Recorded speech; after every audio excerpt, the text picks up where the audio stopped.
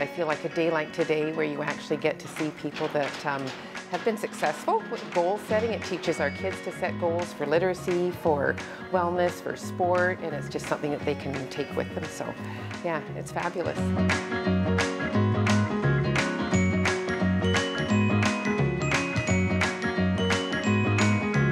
A small little school to have uh, members of the Belleville Senators come in and, and, speak to them about their path to uh, the AHL and to aspire to the NHL means a lot.